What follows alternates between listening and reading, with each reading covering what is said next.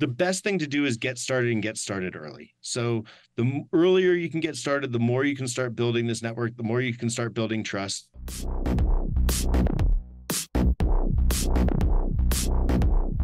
Hello and welcome to another episode of Test, Optimize, and Scale. Have an exciting episode for you today. Have Adam Dornbusch here with us today, founder, CEO of EnTribe, going to be talking about UGC. EnTribe is an innovative SaaS platform for this whole world, for this whole space, and how you can approach creation with a variety of different tactics. Adam, pleasure to have you here today. Hey, thanks for having me. I appreciate being here. And uh, you're up in Lake Tahoe, correct? I am. I'm in the Truckee area. There you go. There you go. I like to point that out as a big uh, snow snowboarding skiing fan. I share my time between Tahoe and the Bay Area. There you go. There you go. Two great places. And thought we'd start with your background, your history, your storyline into the creation of EnTribe. Yeah, thank you. Um, so I'll try to keep this quick, but I spent about 20 years in digital media, mostly buying and selling TV shows, doing business development for TV networks, film studios, everyone from Starz and Encore back in Denver, Tribeca Film back in New York, launched one of the first video on demand television networks out of Los Angeles. But I ended up at Current TV, or Al Gore's television network, where I ran biz dev up until the sale to Al Jazeera for half a billion dollars. And we were focused on citizen journalism, which at its core is user generated content. We were licensing user generated content from all over the world, trying to tell people's authentic stories. Um, fast forward after I left Current, uh, Nick over at GoPro tapped me and said, Hey, we want to build a media company over here with all of the user generated content coming from our cameras, all the photos and videos that are really telling the GoPro story but we need to license that content at scale, package it together, distribute it through different media channels, everything from Xbox, PlayStation, um, YouTube, etc. And we, have never done this before. So how do we license user generated content at scale? So I came into GoPro, built the media company over there. We started licensing over 250,000 pieces of content a year, distributing across everything from Virgin America seatbacks to you name it.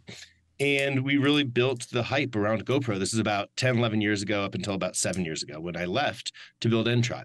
And so the vision of EnTribe was really take what we did at GoPro, but make it scalable for any company. So I left EnTribe, I'm sorry, I left GoPro and I built this software package called EnTribe, which basically makes it easy for any company to activate their authentic customers, license user generated content at scale, and distribute it across whatever media channels they choose. Very nice. Very nice. I uh, am a GoPro fan, as I mentioned, the action sports background. So, picturing a lot of what you were doing in those days and how you were able to take it to arenas with more scale.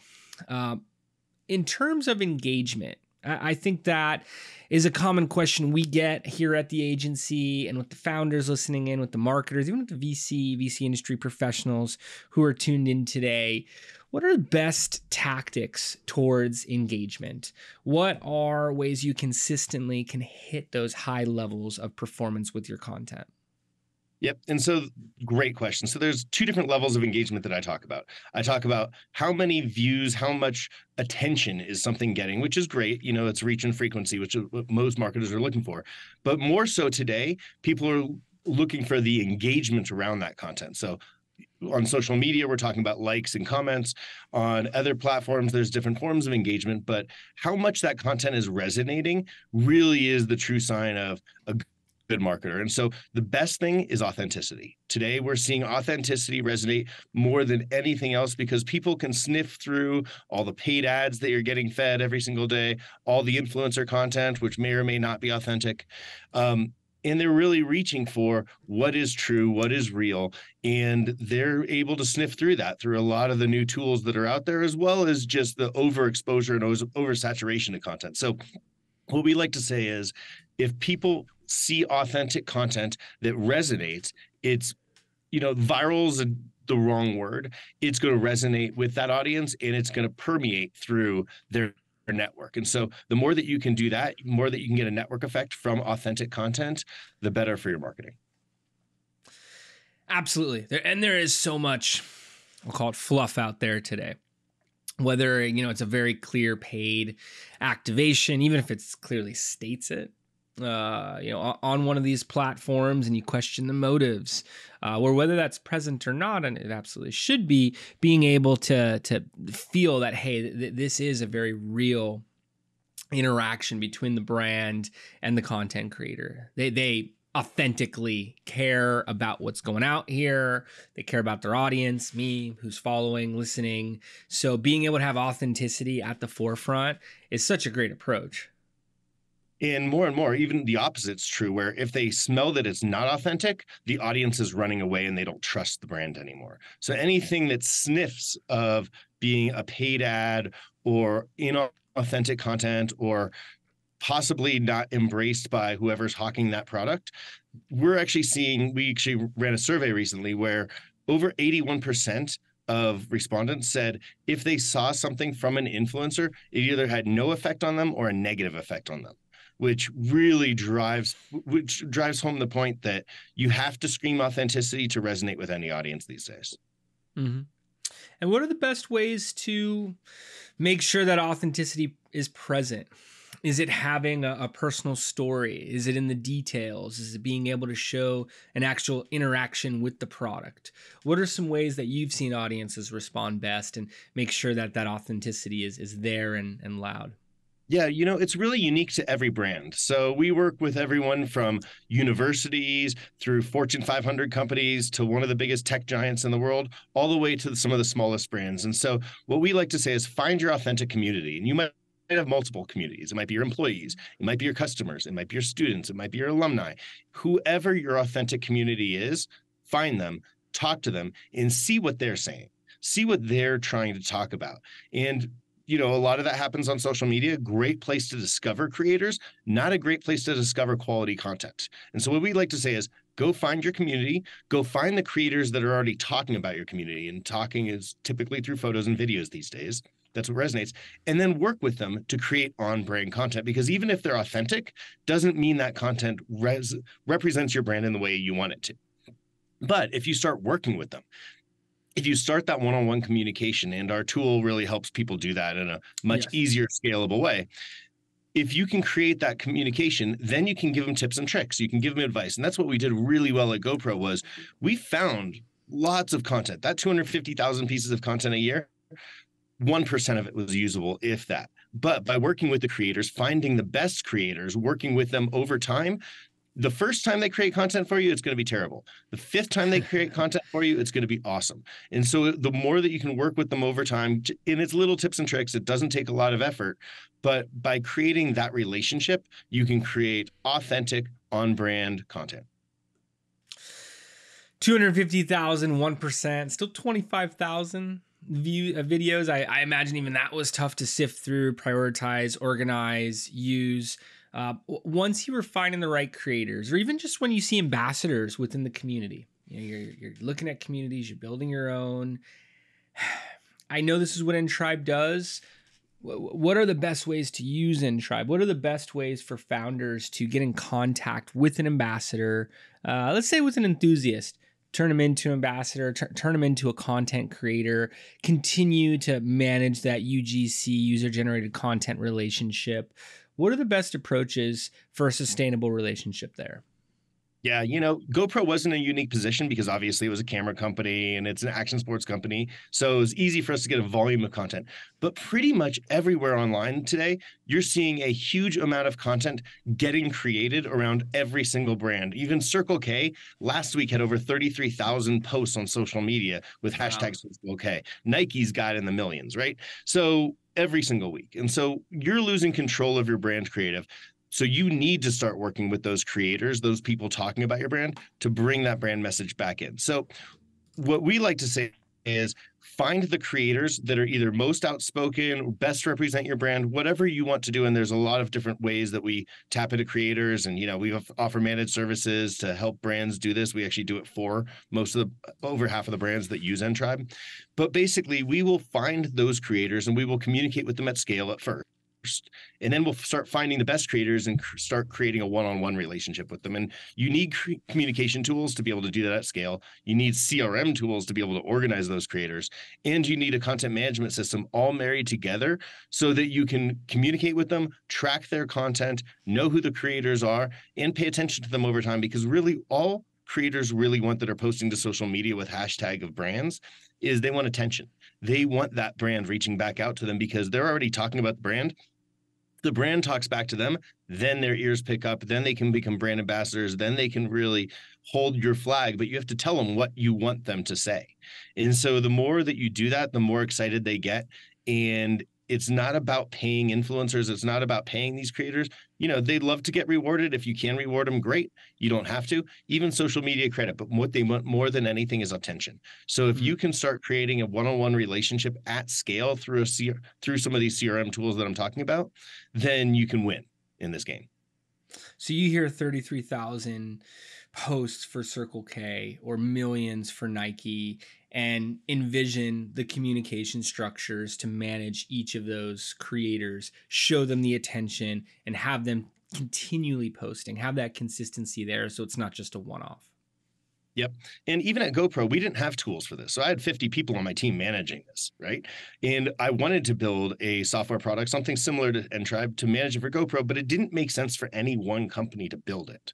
Because if you build it for one company, you can duplicate it for every other company. So that's why I built right. EnTribe. It's one SaaS platform that everyone can use and it's scalable. If you build it for one company, it's probably, I mean, you might save a little bit of money, but it costs a lot to build these tools. Once you have these tools in place, it's the same for a university versus a Fortune 500 tech company, where you're just trying to find creators talking about you, work with them at scale, and then it then it becomes easy because then one person on your marketing team with a couple hours a week can talk to your whole community and can start segmenting those audiences into different pieces of what types of creators are you looking for? How do you want to communicate with this creator versus that creator? And all creators aren't created equally so you want to be able to work with them on their individual basis but at in a scalable way.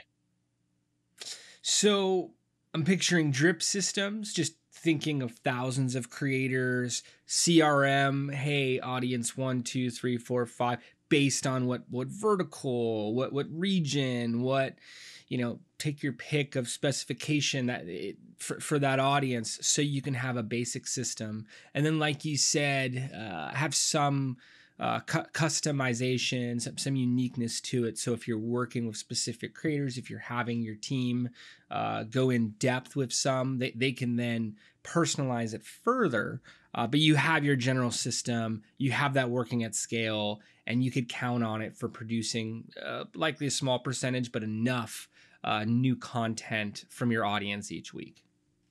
When you're at scale, 100% right. So once you're already at scale, yes, you need all all those different tools you need to approach it in different ways but not all brands are created equal actually most of the brands that get started with us haven't figured out their community yet, haven't figured out their content creator network yet.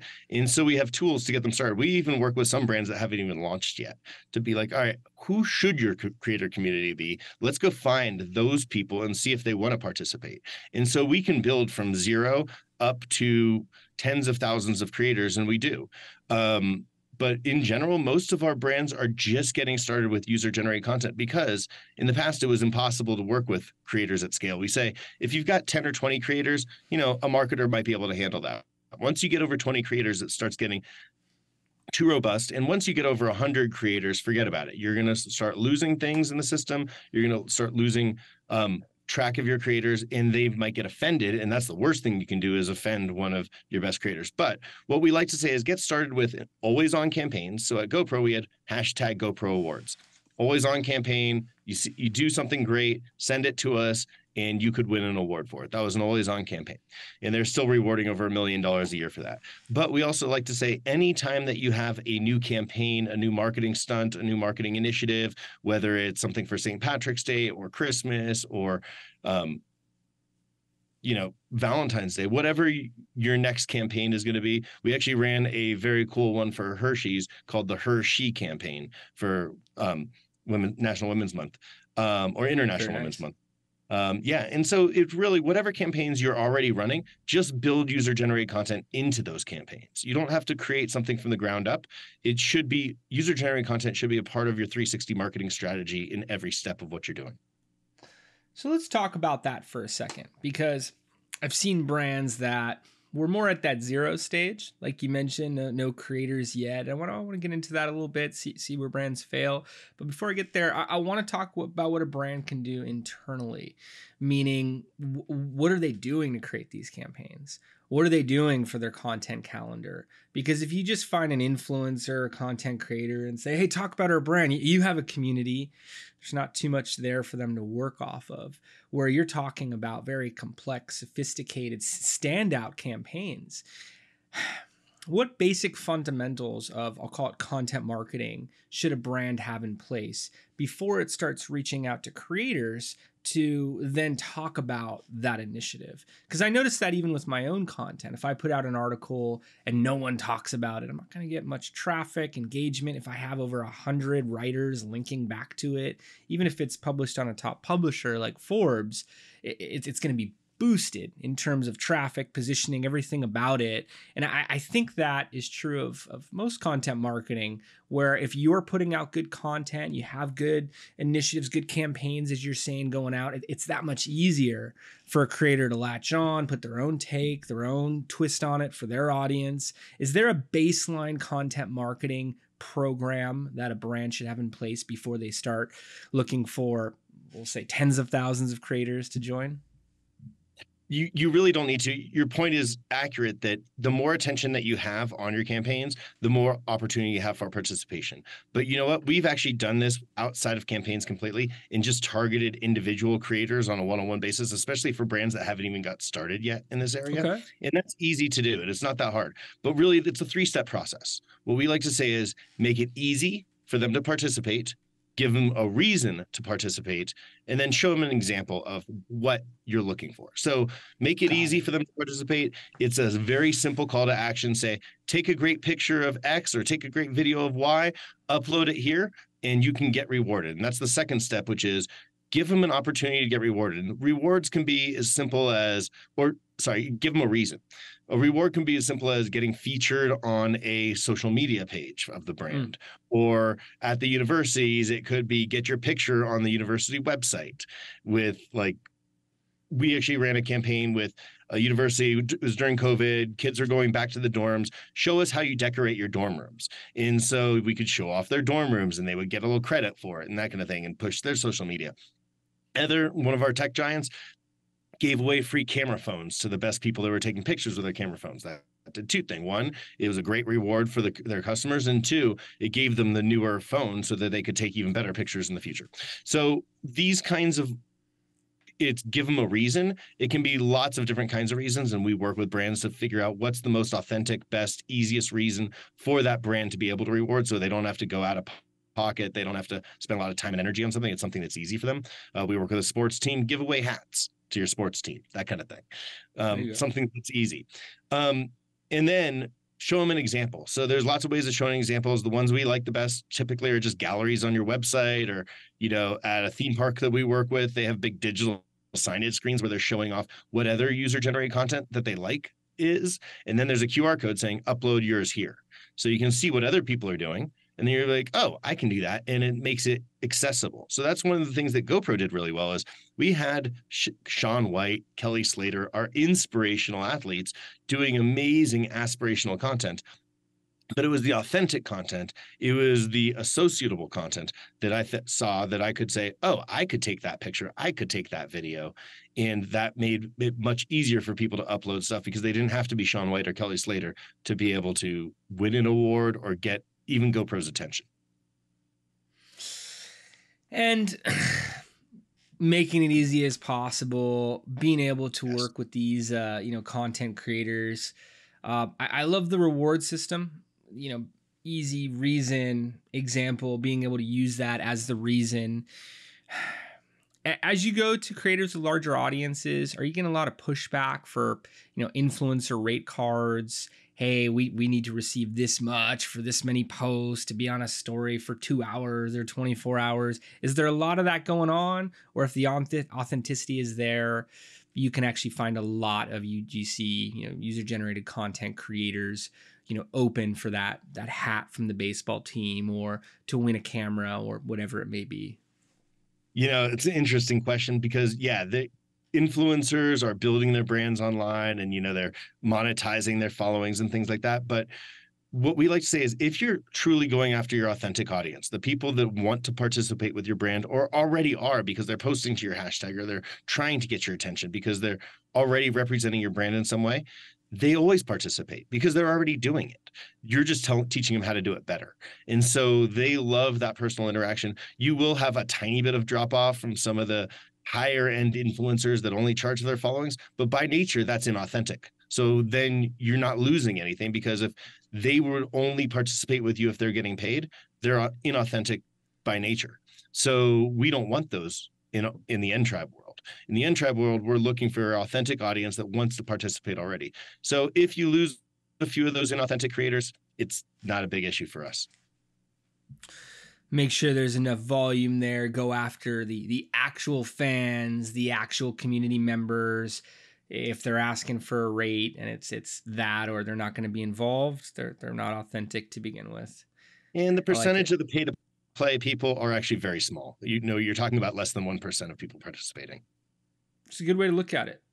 We're often asked about you know specific influencers and and that's where i was asking about that zero um, you know the, the group starting at zero. Sometimes they'll reach out to a bunch of influencer networks and get you know $25000 plus campaigns with very limited visibility into who's going to be posting about them as a proposal back and potentially going after the wrong kpis or not having their funnel refined enough to know that there's a consistent conversion rate and the kpis they're looking for the key performance indicators around uh, sales or you know something transactional or, or even uh, realistic to, to think about. Um, what are the biggest uh, f- failures? What, what, what are the biggest uh, obstacles, challenges that you see brands uh, uh, subscribe to for UGC? You know, any misconceptions at all? Uh, this could be at the zero, it could be at the ten thousand creator level. But but what do you see in the mix where it's an immediate red flag? Ooh, that's that's really not set up for success. We need to change some things around.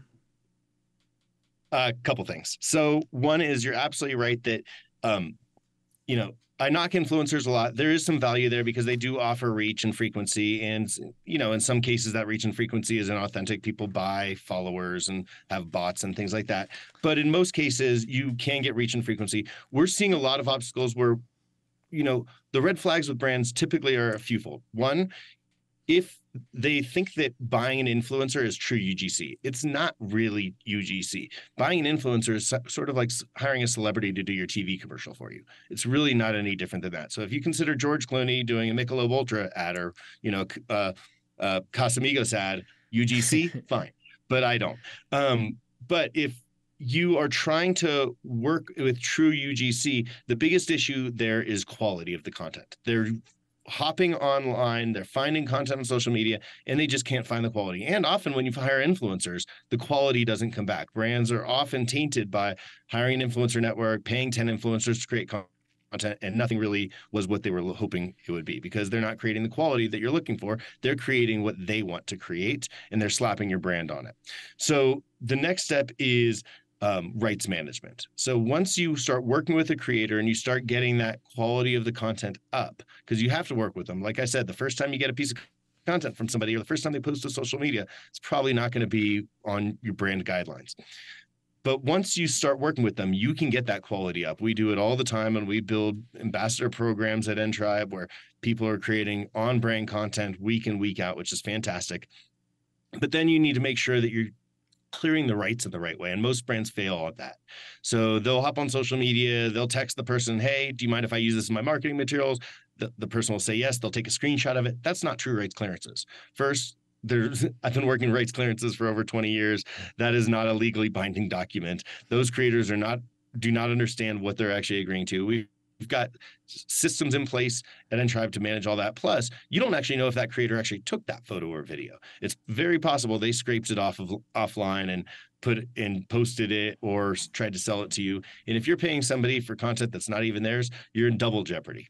So what we like to say is make sure you have secure clearances, make sure you've verified authenticity and ver- verified the ownership of that make sure you've educated them on what you're planning on doing with that content and make sure that you're working with the creator so that it gets better and better over time and once you build that trust between you and the creator and you can trust them that it's their content and they know what they're doing you can work with them almost like they're part of your marketing team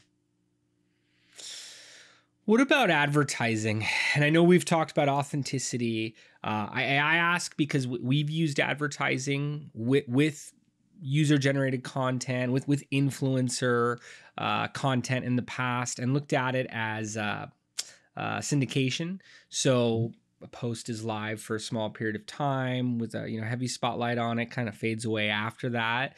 But if we're continue to use it uh, with our paid traffic uh, approaches have you seen that work? Have you looked at special ways to reserve rights to be able to uh, utilize in advertising and other types of uh, campaigns?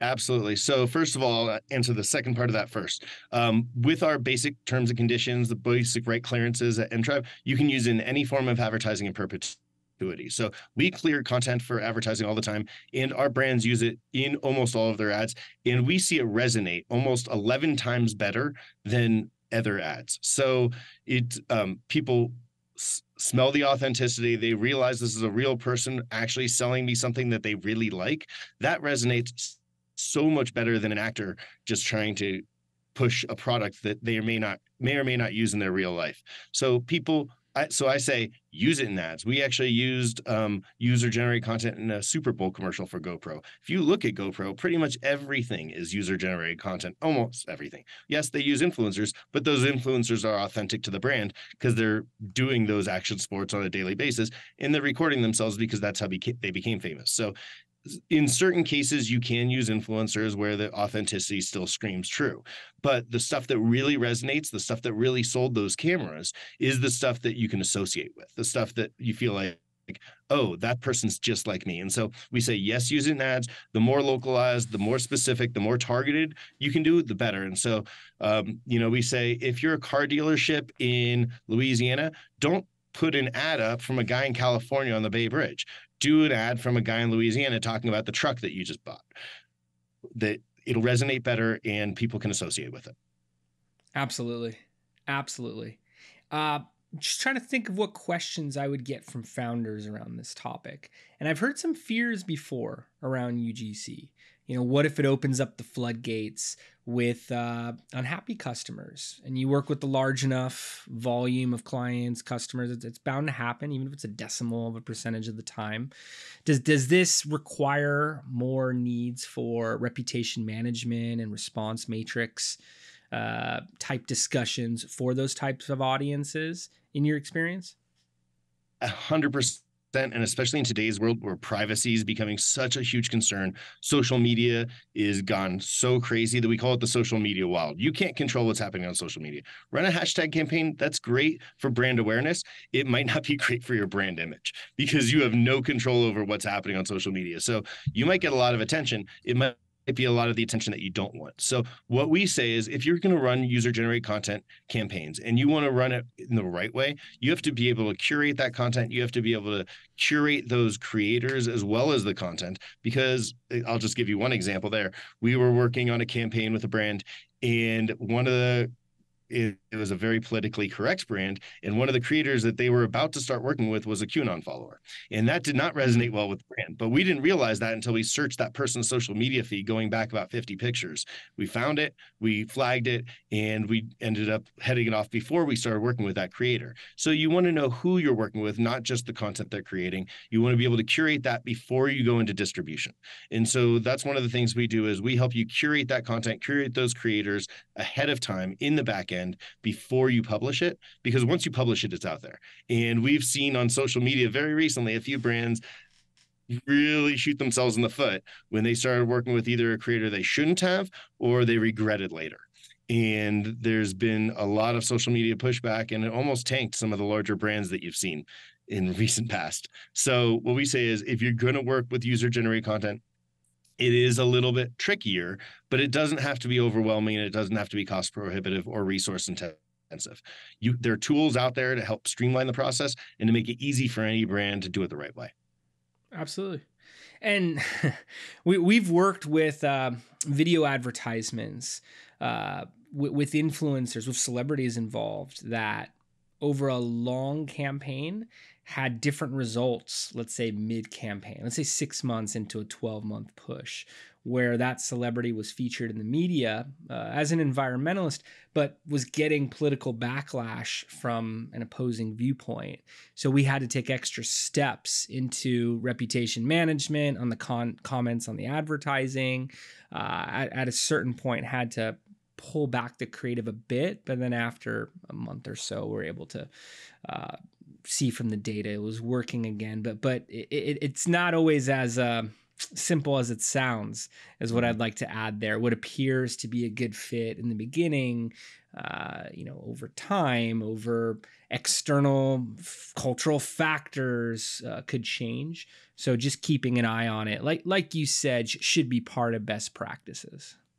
Well, and one of the advantages of user generated content, truly working with a creator community, is you're spreading your um, bets over a lot of people, right? So you're not mm-hmm. working with one or two. And so even if the reputation of one goes south, hopefully you're working with a hundred or a thousand creators and you're pushing out a huge volume of content and you're not focusing on one specific creator. If you focus on one creator, there's a lot of risk there. You don't know what they're going to yeah. do. You don't know what's going to happen to them. They could get hit by a bus tomorrow.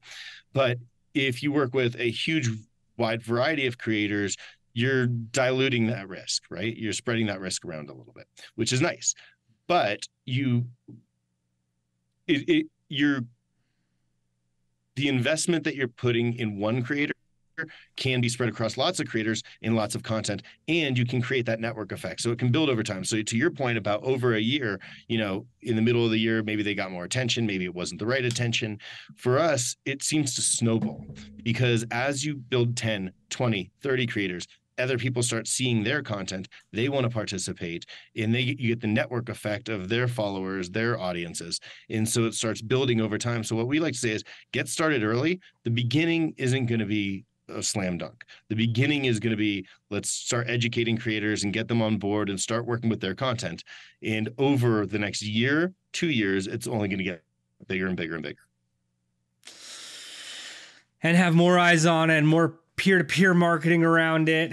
I'm going thinking back to your GoPro discussions, uh, and as an athlete myself, what an honor it would be to be featured by GoPro, maybe even in, in one of the advertisements. I would certainly talk about that and continue to share it, so I could see how it continues to evolve, you know, years out. I remember, um, so the Virgin America Seatback channel was one of our most watched channels because you know you're on an airplane, you might may or may not have enough time to finish a show or a movie flip it on and it's just great entertainment. And we would actually see more ch- more people on virgin americas watching the GoPro channel than anything else. And what they were really watching was all that user generated content because we would just yeah. flood those channels with user generated content and it was addicting. And you don't have to be GoPro to have that kind of addicting but having that volume of content can really change a brand and I've seen people point it out in other contexts as well too. I think uh, dating apps, travel channels. Oh, I was featured here. I was featured there, and I am definitely guilty of watching the uh, maybe not that airline, but a different airline. Not to say they're competing, but but another airline looking at all the different local posts for the destination I was going to. It's very cool, and it can be used in a lot of good ways.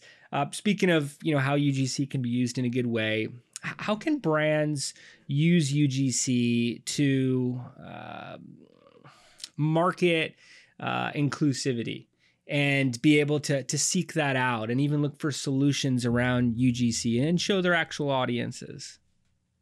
I love that because that's one of the biggest advantages of user generated content. You can show all walks of life, all kinds of people because you can attract such a volume of content and you're getting your authentic audience, right? And you're not you don't have to segment people out by where they live and what they look like. It's actually better if you're just leaving it open, saying, This is my campaign. Send us what you're doing about that. Even the Hershey campaign that I mentioned, we were getting content from men talking about amazing women. And we were getting, we did a video game. Um, it was the we helped Riot Games with the League of Legends World Championship live stream. And so we were getting nice. live content from all over the world of viewers that wanted to participate with this live um, live event. And so you can do it from live events. You can do it from people sitting on their couch at home or in movie theaters watching that um, live event where they were sending in how they were supporting their teams. And so featuring that participation, featuring, we even worked with the automobile um, sponsor of the World Cup, and we did the same kind of thing where people from all over the world could show their support for their teams, and you were showing all walks of life, and it was the perfect um, inclusivity and diversity exercise for content and for content creation. That became their commercials. What a great way to call on that community. Imagine had a variety of different benefits, uh, you know, outside of that. But where do you picture this all going? And as there's emerging technology with, you know, wearables and virtual worlds, and our lives are becoming more and more digital, where do you envision user generated content 10 years or further out? You know, it's a great question. And so what we can talk about is trends that we're already seeing. We're already seeing that camera phones are creating quality of movie theaters, right? So you can so the quality of content creation is getting better. The ease of creating compelling content we're seeing from TikTok and other platforms is becoming so much easier. Even YouTube's releasing their new AI engine to help short form content creators create anything they want even without a lot of talent. So content creation is getting better. More people are creating content and the the quality threshold of what's acceptable content is actually coming down. So what you're seeing, like if you look at Gen Z, what are they watching online? They're not watching the highly polished big TV shows. They're watching YouTube videos and clips of people doing things in their backyard or playing with toys. It you don't need to have high quality content to make it compelling and to resonate with audiences. And so we're seeing content creation explode, especially through AI. Um, and higher quality cameras and you know better editing tools et cetera we're seeing the quality of pe- acceptable content come down and more and more people want to be content creators because there's more ways of making money communicating and this is how people communicate today you know like 100 years ago we got a telephone great you know 20 years ago we got social media people started talking about everything online now people communicate through photos and more more videos so if you don't get on board with this earlier it, you're going to be washed out because there's going to be such a flood of content about every single brand, about every single topic that you need to get your arms around all of it, not just one little segment to be able to do something. And more and more, we're going to see content getting fragmented, audiences getting fragmented because there's such a volume of content. I mean, you can imagine just Netflix, Amazon, everybody else producing TV shows. Audiences are getting segmented and people are going to gravitate towards what resonates with them best. So you got to hop on board with those verticals in those specifics to get your audiences. And so, you know, we're going to be flooded with more content. That's not slowing down. The quality is going to get better and the threshold is going to get lower. So you've got to find your audiences and you got to hold on to them. Sure. And the quality is really about that authenticity to begin with, right? I mean, like you said, the threshold's going down. We run a lot of investor marketing campaigns for startups who think they need that broadcast quality studio video presentation. And we'll test that out for some clients some some groups issuing shares and even selling securities uh, with their campaigns. They often see the best results from a selfie video and you know yep. with the camera quality improving but all about that authenticity. It's not working because it's done with that video device. It's it's because of the connection with the audience and the problem the solution the personal story and how i'm telling it to you in 15 to 30 seconds versus too much stock imagery and videography and floating text. It feels more like a video that's posted to the social media platform the audience is scrolling through once they actually engage with it to begin with. So I just wanted to repeat the word authenticity in all fairness. I, I love your use of it uh, and how you guys are leveraging it with UGC. Yeah, you know, it's really at the core of everything we do, and we probably say authenticity even more than you do, because that's that. I mean, that's what matters in today's marketing. That's what matters with today's audiences, and that's what matters in today's creative. And so, if you don't have that authenticity, you're going to lose your audience and you're going to lose your customers. And if you do have that authenticity, you have all the opportunity in the world. And speaking of that opportunity, want to package some actionable insights for listeners, founders who are tuning in perhaps. What what could they be testing out towards their own UGC strategy, to, towards their own content and and making it more authentic? What are some tips that they could use for their own model? So, whether you have a UGC campaign now or not, take a little bit of your marketing dollars and experiment with it because I promise you it's going to start working. And it takes a little bit of time and it won't happen in the first month, but it'll definitely happen in the first few months and it starts building over time. But you want to get started now because the earlier you get started, the easier it's going to be. It's a compounding effect. So get started with a user generated campaign now, build it into each of your already existing marketing initiatives. It doesn't take, take a lot of money, doesn't take a lot of time, but it definitely can piggyback on everything else you're doing and it can amplify it. So get started now, get started early, and you can get started small. It doesn't take a lot to get moving, but once you get moving, it's easier to grow. And so what we like to say is whether you use a platform like EnTribe or not start working with user generated content start managing if you're using influencers fine. If you're using micro influencers better. If you're really reaching out to all of your authentic community that's the best. And start bringing them into your marketing fold. And then you can see all the upside that user generated content can do but also back to the authenticity you're going to see that authenticity resonate with your audiences and it's just going to build your trust. And what if it's not working right out of the gate and often doesn't, right? It can yep. at least improve over time. What of the what are the best approaches towards optimization? Yep. So all brands aren't created equal, right? But what works for my um, top five tech company isn't the same for my edible printing company out of Los Angeles with a couple employees. Um, we sure. do a lot of A/B testing, and so we test how different activations work, where to activate, how to activate your customers. So you know, we do a lot of activations through social media. We've found a couple brands that their customers don't really pay attention on social media. They might be posting on social media, but they don't really pay attention to social media. So we activate at events, we activate on location, we activate where those customers are participating. And so you really want to test out where you're activating your customers, whether it's their email blast, text message campaigns, social media campaigns, on site at events or in your retail stores and then you also want to test out the different kinds of messaging, what you're asking for them, because maybe you're asking for too much. Maybe you're not making it easy. Going back to those three steps, maybe you're not making it easy to participate. Maybe you're not giving them a reason to participate, or maybe you're not um, uh, rewarding them for participating. And you got to play around with those three levers of how you're doing each one make it easier. Maybe it should be through an email blast, or maybe it should be through a QR code. So reward them. Maybe play around with different rewards. Maybe social media credit's not enough. Maybe you need to give them some swag, or maybe you need to like really help resonate and um, give them an example. Maybe you're not giving them the right examples. Maybe you're showing them something that's too glossy, that's too uh, high touch, that they can't associate with or they don't feel that they can do. So if you play around with those three levers, you'll be able to find the right fit. And we've actually never had a brand not have success after a few months. That's a, a great thing to add there. And once you see them having that success, what are the best approaches to to scale? I think you're uniquely positioned to be able to answer this question. You know, hearing about some of the numbers at GoPro and, and with your clients now, uh, how do you take a campaign that is doing the right thing but to a larger stage and getting more creators, getting more performance, more traffic, more results associated to it.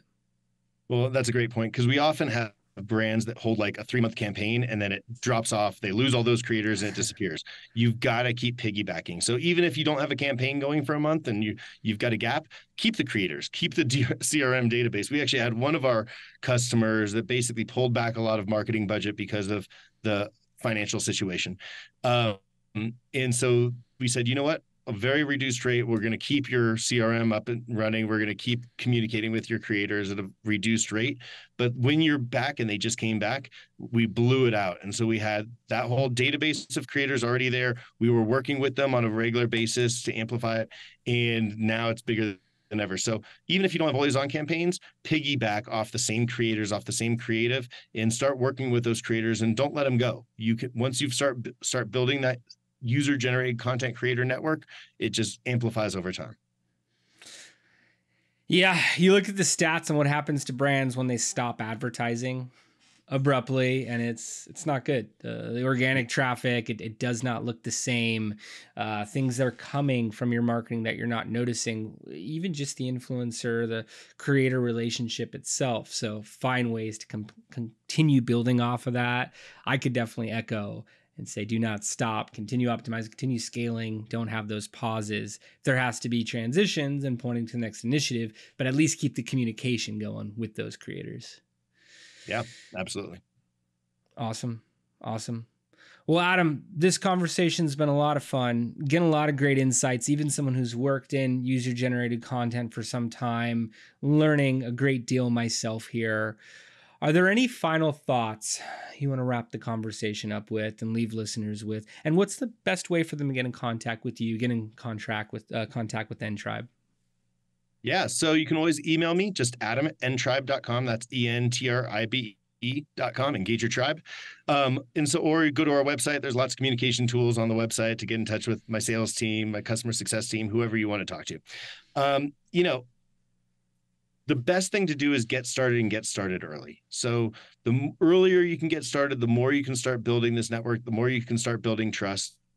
And it's really not that hard. So that's one of the biggest issues that we see with brands is they they start stumbling because they don't know how to get started. Well, we can hold your hand. We can take you all the way through that step of, you know, the one, two, threes of getting user generated content campaigns going, how you can create a creator network. And it's not that it should be re- replace your influencer campaigns. Those can be valuable in their own right. It actually can amplify them. But you should take some of your marketing dollars just as you did five years ago and start investing in influencers. Get started with user generated content now because I promise you, you'll be rewarded for it. I back that statement. Adam can't agree with you more on these points and the way you guys are approaching UGC. I hear that word thrown out there a lot these days, but the fundamentals you've talked about, the best practices, the insights, uh, I believe uh, is what makes the difference between a successful influencer UGC program uh, and one that is tested and, and let go quickly. So definitely recommend listeners, viewers to get in touch with Adam and uh, per that very welcoming in, invitation. Um, and Adam, I want to thank you again for taking the time to uh, hop on the pod here today. Thanks so much. I can't wait to see you up in Tahoe soon. All right. Sounds good. Sounds like a plan. And want to thank everybody for tuning in. We'll see you next time.